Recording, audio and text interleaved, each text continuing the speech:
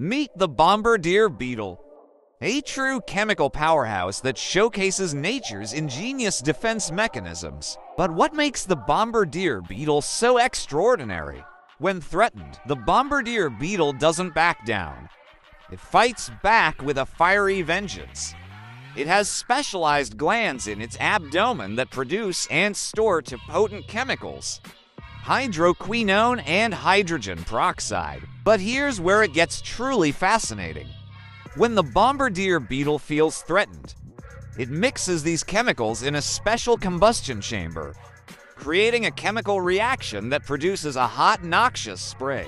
This explosive spray is then forcefully ejected from the beetle's abdomen, reaching temperatures of up to 100 degrees Celsius.